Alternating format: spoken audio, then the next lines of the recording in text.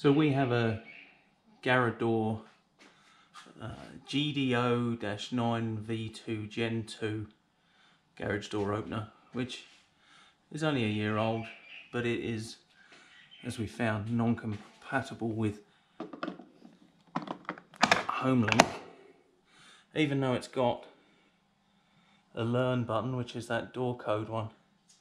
We tried everything to get it Homelink working, no joy.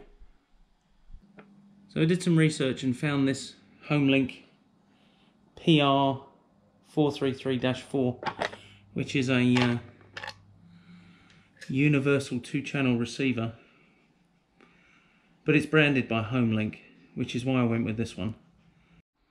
So it comes in this box along with some instructions, everything you need. So it works by interrupting the signal or creating a signal from the door push button, which is those two white wires there. Installation is really simple. You just take off your opening closing button, undo the button, and then what you see is underneath what I've done, because I've already done it, is I've just taken the wires, put a fork uh, on there, uh, put them both together and then screwed them back in. So this white wire is the new one, the black ones are the original ones which continue to follow. I've not done anything to those. Meanwhile the new the new wire I've just just literally taped it so far because I haven't finished the proper installation but as you can see just goes along goes through there goes into channel A of the box. Then you just wire in the transformer which is just plugged in there above the thing. So that's the installation done. And you'll notice I haven't been anywhere near the car yet.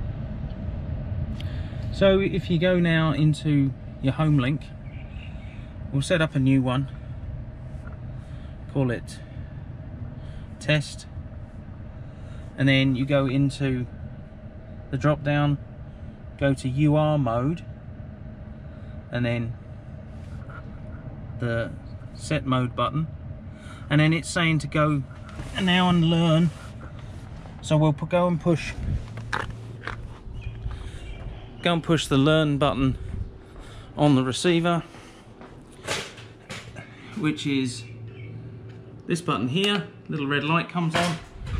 And we go back to the car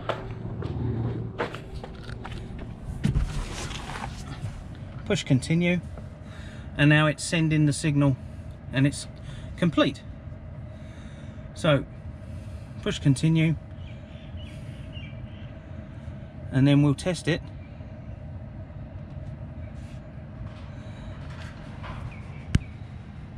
And there we go. Save. And then you set up your all your other bits and bobs while you're there but that's it.